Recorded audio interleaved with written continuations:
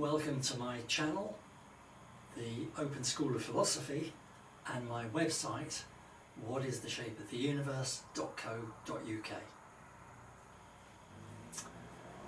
The shape of the universe is much more interesting, much stranger, and far more beautiful than we've been led to believe. But why should you be interested in the shape of the universe? Well, it's the picture on top of the jigsaw box. So you can't make sense of the pieces in the jigsaw without knowing the shape of the universe. It completely explains gravity and also gives us a purpose in the universe. It turns out that to understand the shape of the universe, you need to be a philosopher, not a physicist. If not the ultimate proof of God, it's certainly the most recent proof of the existence of God.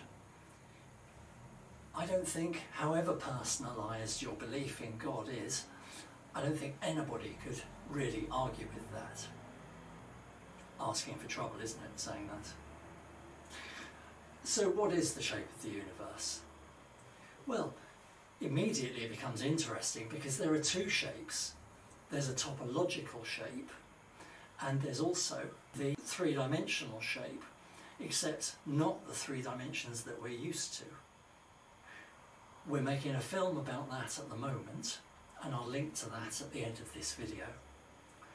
There's also a longer version of this video if you want, if you want to find out more.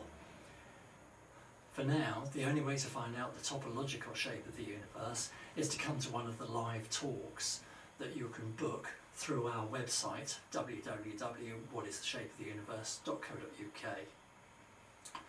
That website will have a complete copy of the talk posted free of charge for everyone to view in 2025.